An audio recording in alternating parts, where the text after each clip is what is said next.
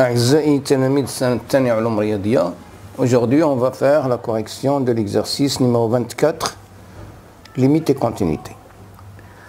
Pour chacun des cas suivants, montrer que la fonction f admet un prolongement par continuité en x0, puis donner ce prolongement. La première question, f de x est égal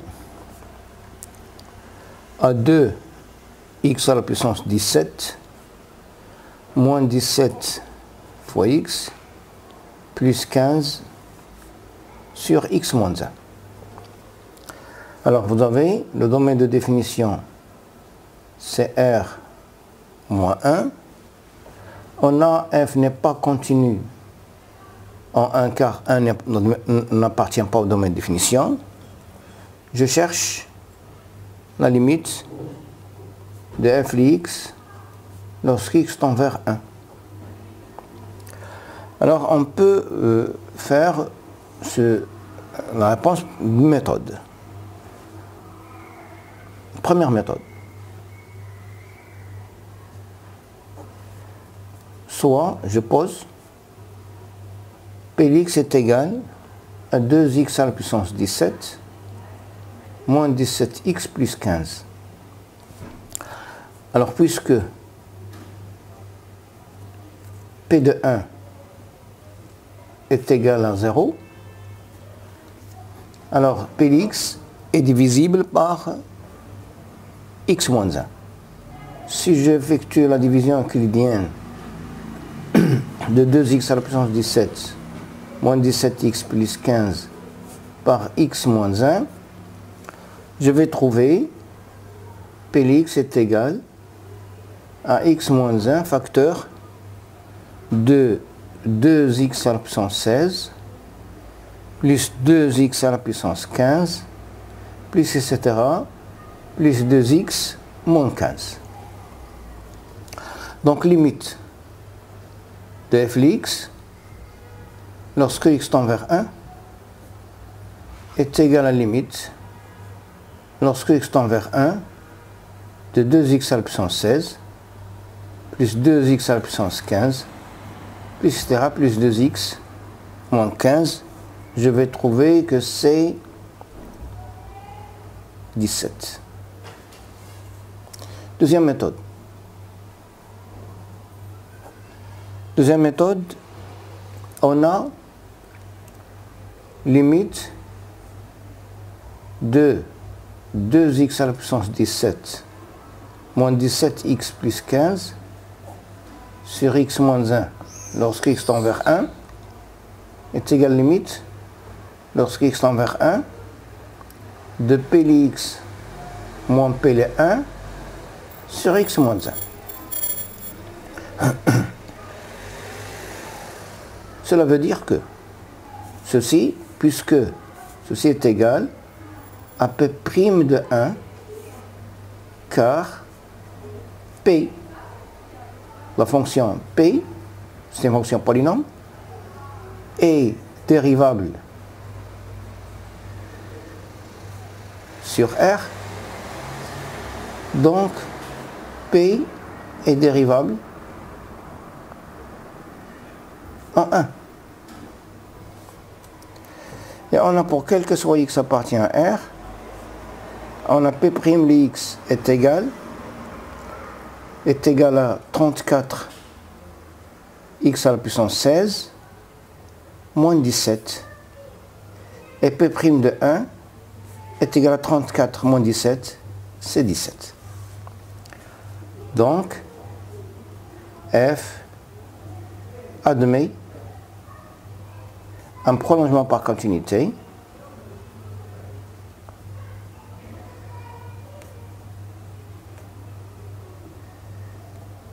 en 1 donné par Glx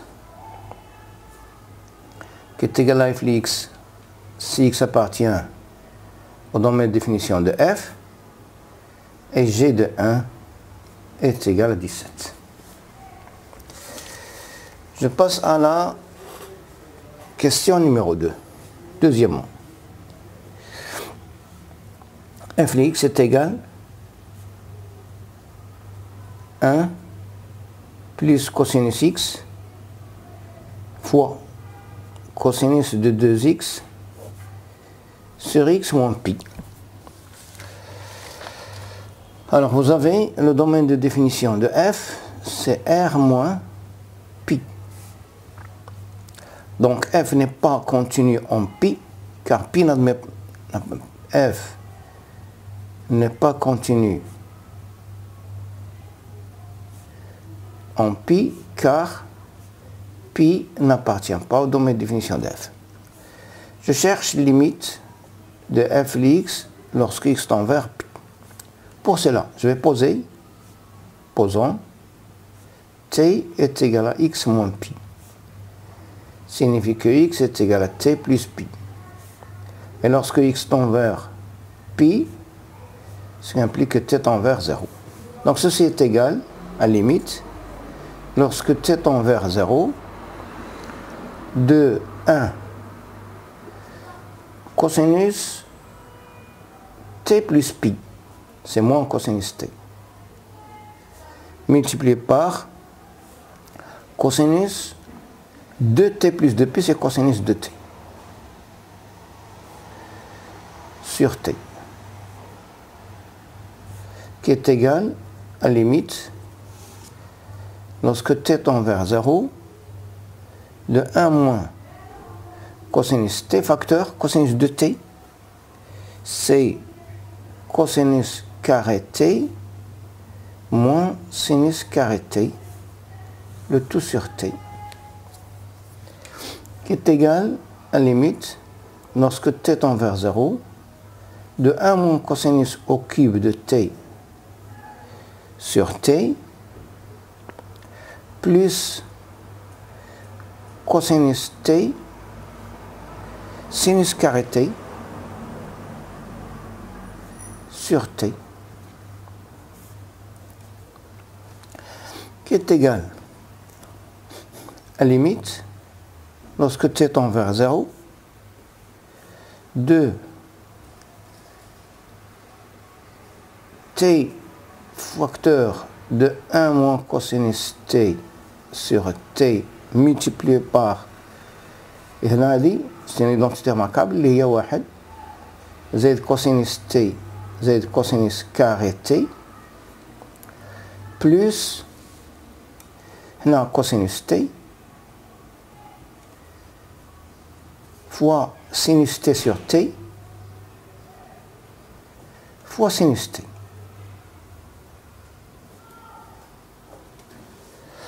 Mwandi ya tatu hina, hina si euh, t au carré. Hina c'est 0. C'est un demi. C'est 3. Donc ici c'est 0. Ou hina encore c'est 0. Donc est égal à 0. Donc f admet un prolongement par continuité pi donné par g est égal à f de x si x différent de pi et g de pi est égal à 0. Je passe à la troisième question. Troisième question. f de x est égal à x à la puissance n moins a à la puissance n sur x moins a, on, a a, alors a appartient à R et n appartient à n étoile. A appartient à R et n appartient à n étoile. Alors le domaine de définition, c'est R moins A f n'est pas continu à A car A n'appartient pas au domaine de définition. Je cherche la limite de f lorsque x tend vers A égal. Bon, il y a deux méthodes. La première méthode. Première méthode, ceci est égal à limite lorsque x tend vers a. Là, je vais factoriser. À certaines, il y a x moins a facteur de x à la puissance n moins 1 plus x à la puissance n moins 2 fois a plus etc plus x à la puissance n moins 2 plus a à la puissance n moins 1 sur x moins a. Je simplifie par x moins a. Il me reste, je remplace par a, je vais trouver n à la puissance n moins 1. Deuxième méthode. Soit la fonction g définie par définie par g x est égal à x à la puissance n. g est dérivable sur r, donc g est dérivable en a appartient à r. Donc, limite de f x lorsque x tend vers a est égale limite lorsque x tend vers a de g x moins g de a sur x moins a est égal à g' de a. Et on a pour quel que soit x appartient à R, g' de x est égal à n, x à la puissance n moins 1. Donc, g' de a lié à la limite, qui est la limite de f lorsque x tend vers a, lié à n à la puissance n moins 1. Donc, g, f est admis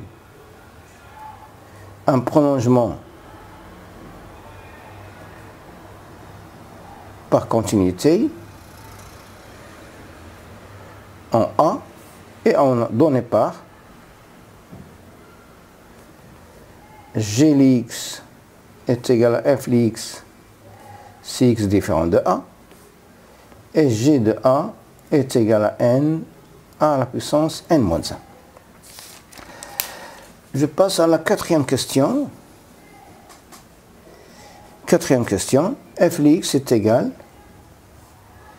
à x sinus x moins cosinus x sur 2, le tout sur x plus pi. Alors le domaine de définition de f, c'est r moins moins pi. f n'est pas continu en moins pi, non. لا تنتمي إلى مجموعة التعريف donc limite de f de x lorsque x tend vers moins pi égale posons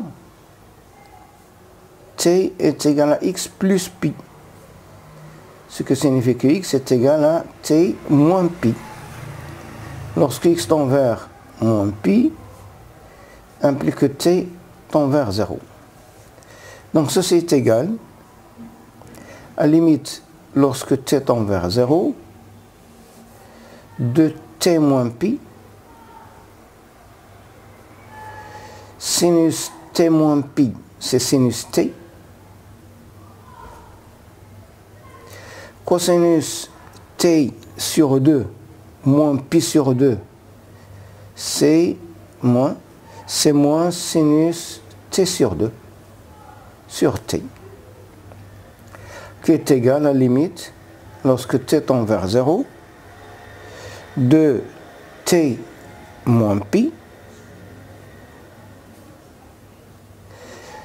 fois sinus t sur t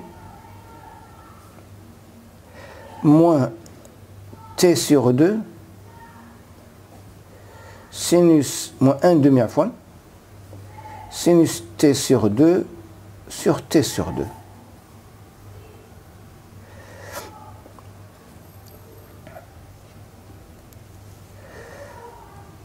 Alors, sinus, t moins pi, sinus moins pi, il y a sinus, bien sûr.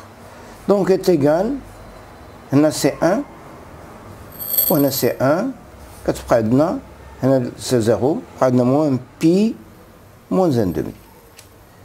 Donc, F admet un prolongement par continuité en moins pi donné par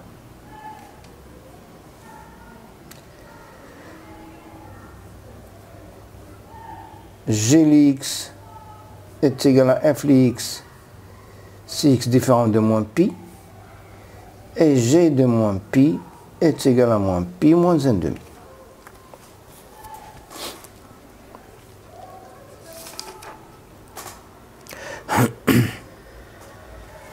Je passe à la cinquième, question, cinquième exercice, cinquième question.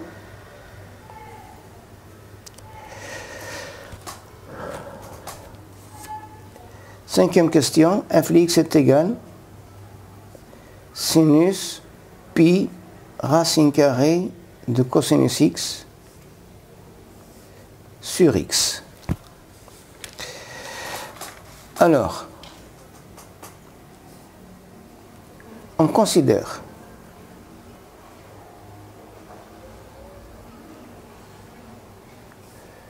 la fonction g définie sur un voisinage de 0, je vais prendre moins pi sur 2, pi sur 2,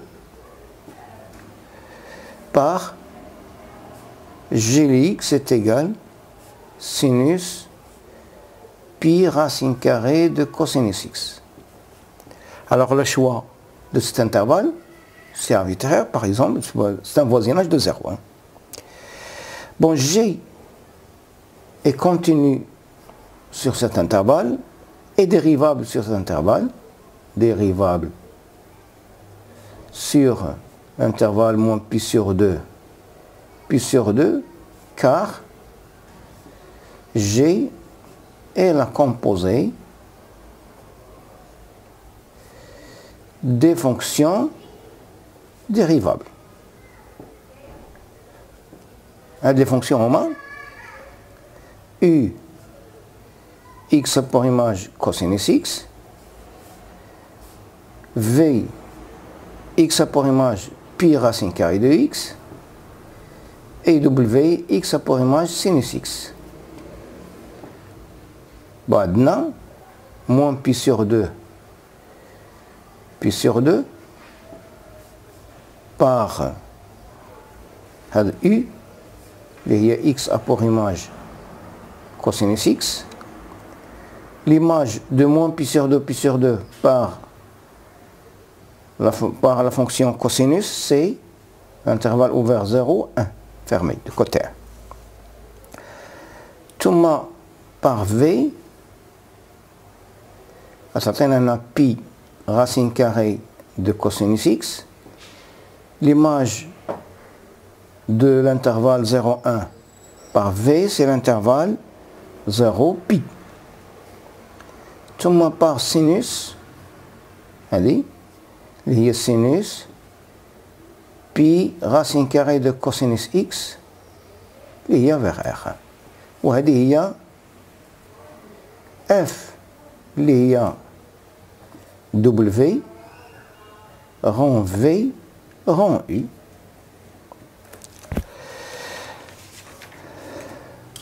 donc f est dérivable f est dérivable sur l'intervalle moins pi sur 2 sur 2, donc f est dérivable en 0. et on a limite de f de x lorsque x tend vers 0. Et limite de g de x moins g de 0 sur x moins 0. Il y a g' de 0. Et on a pour quel que soit x appartient à l'intervalle ouvert, moins pi sur 2, pi sur 2, g' les x est égal. Euh, vous avez la formule sinus AX dérivé au sinus, sinus U, il y a U' cosinus U. Et donc tout ça oui, G' l'X, tout ça oui,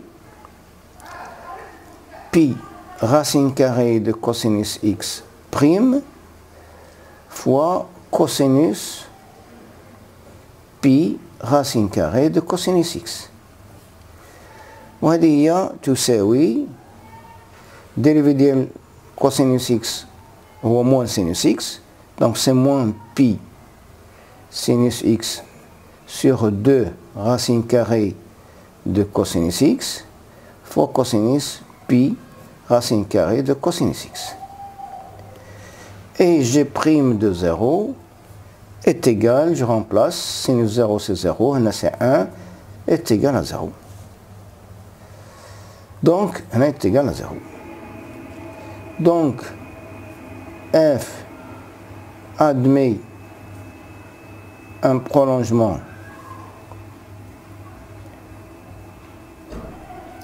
par continuité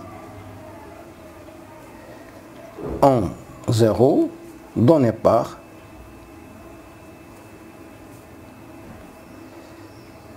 je vais l'appeler h, l'x, qui est égal à f l'x si x différent de 0, et h de 0 est égal à 0.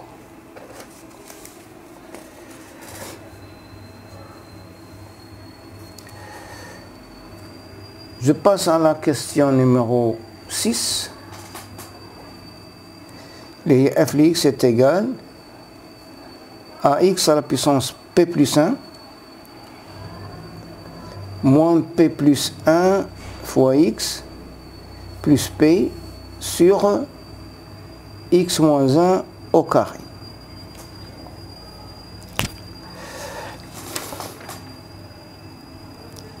Alors,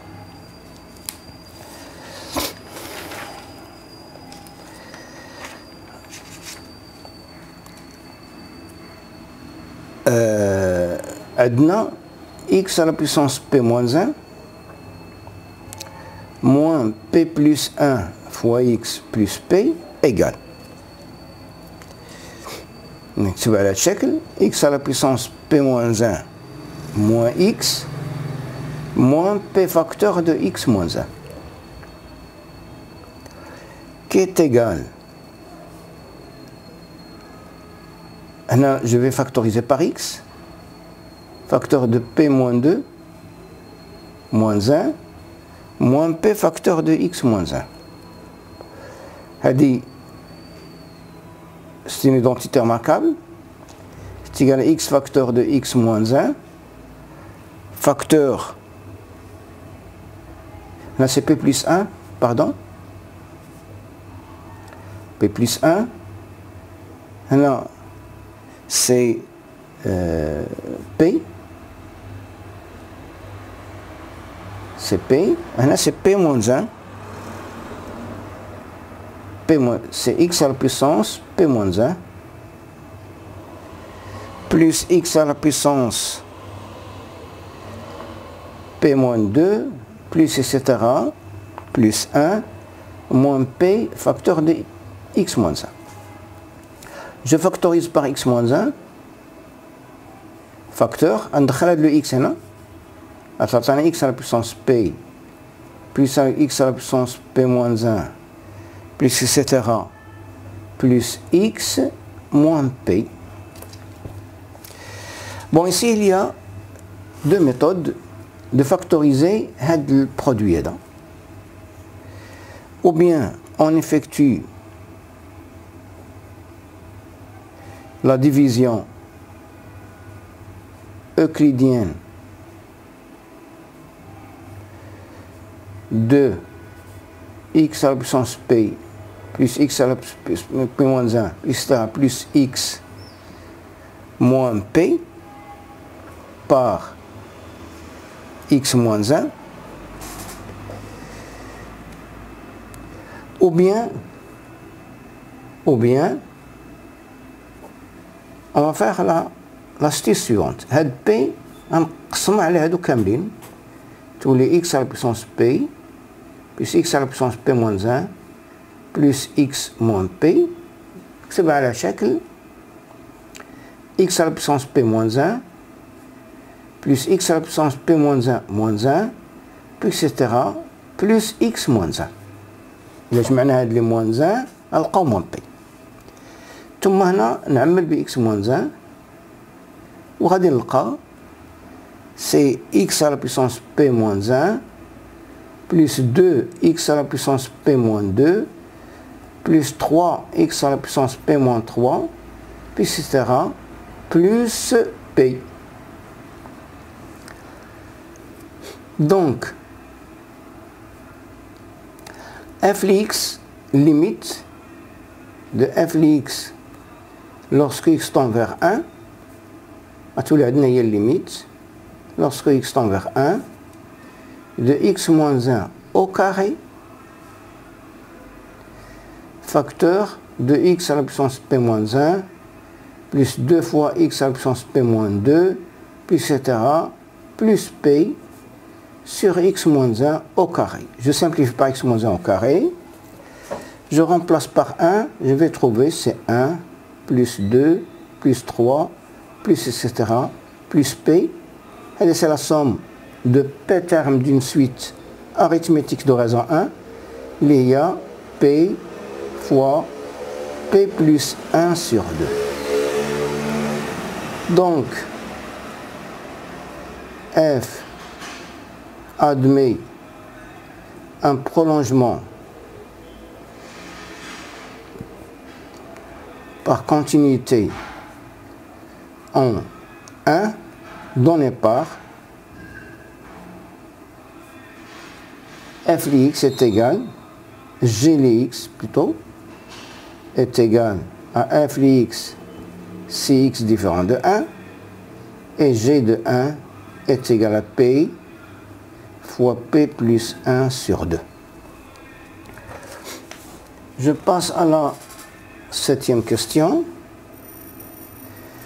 f est égal racine carrée de a carré plus x moins a sur tangente x avec a appartient à r étoile plus. Alors le domaine de définition de cette fonction, c'est domaine de définition de f est égal à une tangente c x appartient à r tel que cosinus x différent de 0 et sinus x différent de 0. cosinus x, c'est-à-dire tangente x différent de 0 c'est-à-dire c'est égal à R moins, moins K pi sur 4 K pi sur 2 بحيث K ينتمي إلى R وعندنا voilà c'est ça donc F n'est pas, n'est pas continu F n'est pas continu en 0 car 0 n'appartient pas au domaine de définition de f. Et je cherche limite de f de x lorsque x tend vers 0. Il y a limite lorsque x tend vers 0 de racine carrée de a carré plus x moins a sur tangente x, je vais multiplier par le conjugué de numérateur. Tatena a carré plus x moins a carré, tatena x sur tangente x fois racine carrée de a carré plus x plus a.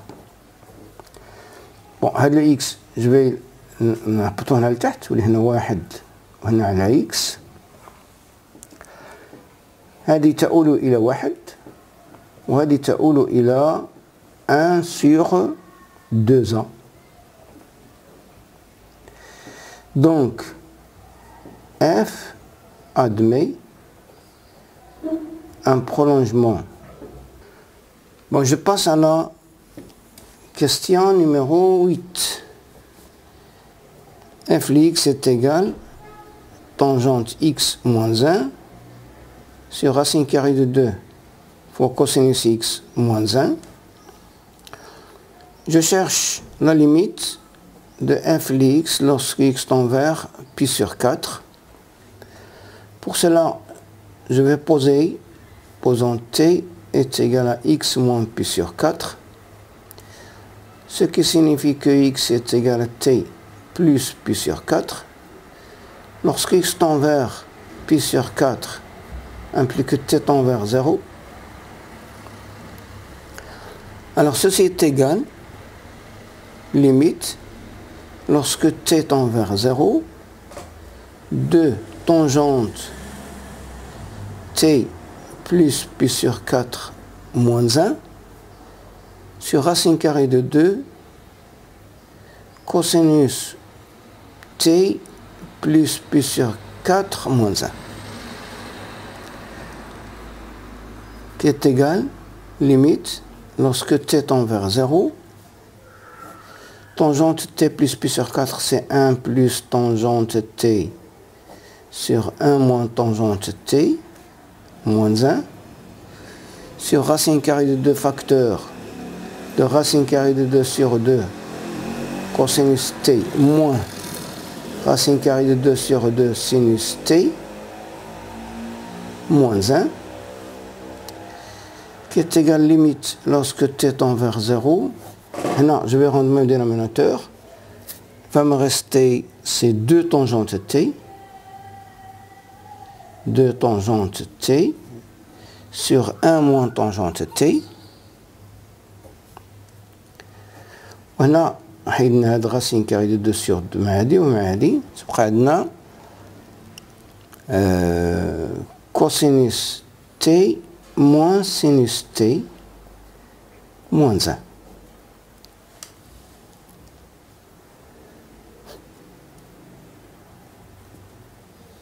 فوالا. كي تيغال هنا نضرب في تي ونقسم على تي c'est 2t tangente t sur t هنا نخليها كما هي واحد ناقص tangente t هنا je vais euh, faire sortir un moins هنا باش تبقى عندي 1 moins cosinus t نقسم على t carré ونضرب في t carré بلوس ça de moins d'où il y plus, plus t sinus t sur t. Je vais simplifier par t, et un t d'ici et de là. C'est la limite lorsque t tend vers 0 de 2 fois tangente t sur t moins 1 moins tangente t facteur de t 1 moins cosinus t sur t carré plus sinus t sur t. هذه تؤول إلى واحد. هذه تؤول إلى واحد. هنا زيرو هنا تؤول إلى واحد. إذا تيغال موان دو Donc, f admet un prolongement par continuité en pi sur 4 donné par g est égal à f de x lorsque x différent de pi sur 4 et g de pi sur 4 est égal à moins 2. Neuvième question. Euh, f x est égal cosinus x plus cosinus 2x moins 2 sur cosinus 3x plus sinus x moins 1. Je cherche la limite de f x lorsque x tend vers 0 est égal limite lorsque x tend vers 0 de le moins 2 je vais distribuer ici et là il y a moins 1 moins cosinus x moins 1 moins cosinus 2x sur moins 1 moins cosinus 3x plus sinus x qui est égal à limite lorsque x tend vers 0 je vais multiplier par 1 moins ici et là. On a fait x au carré 1 moins cosinus x sur x au carré plus on a x au carré 1 moins cosinus 2x sur 2x au carré. Là, nous allons faire x au carré, 9x au carré plutôt. C'est 1 moins cosinus 3x sur 3x au carré, ou 9x sinus x sur x. Je vais simplifier par un x, numérateur et dénominateur, tend vers 0, tous les x, facteur de 1 moins cosinus x sur x au carré, plus 4, 1 moins cosinus 2x sur 2x au carré, le tout sur 9x 1 moins cosinus 3x sur 3x au carré plus sinus x sur x les à 0. Donc, f admet un prolongement par continuité en 0 donné par Glx est égal à f x, le quinte x différent de 0, et g les 0 est égal à 0. La dernière question, 10, f x est égal 1 sur 5 moins x au carré, facteur de 1 moins sinus, pi x sur 10. Je cherche la limite de f de x lorsque x tend vers 5. Pour cela, je vais poser t est égal à x moins 5, signifie que x est égal à t plus 5. Lorsque x tend vers 5, implique que t tend vers 0.